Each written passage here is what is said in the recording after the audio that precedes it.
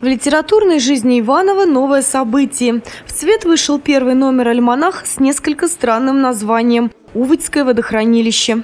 Как поясняют сами соучредители, никакого особого смысла искать в этом не нужно. Просто интересно им показалась сама фонетика этих двух слов.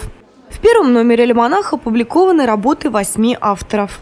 Этот альманах всероссийский, в нем всего два ивановских автора, остальные шесть авторов представляют другие города России. Красноярск, Новокузнецк, Санкт-Петербург. Вот сознательно нет никого из Москвы. Ну, мне так кажется, что сознательно. В первом номере нет столичных авторов, вот такие провинциальные. Но все эти люди, они хорошо известны в своих э, регионах.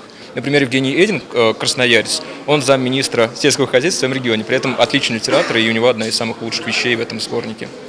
Дмитрий Фалеев – один из ивановских авторов, чьи произведения вошли в альманах. Он же составитель издания. Писатели выбраны не случайно, говорит Дмитрий. С их творчеством он знаком уже много лет. Все они умеют качественно отразить реалии нашего времени посредством слова. Абсолютно разные рассказы так или иначе связывает одна идея. Ну, наверное, это о том, что человек может оставаться собой в любых ситуациях, и добро побеждает зло. Особенно были отмечены стихи журналистки Марины Москалевой, еще одного автора из Иванова. О быте, вещах простых и знакомых каждому она пишет очень тонко, современно, где-то даже возвышенно. Впрочем, самую главную оценку пилотного номера составители и авторы ждут от читателей. Елена Белова, Олег Мелехин, РТВ Иванова.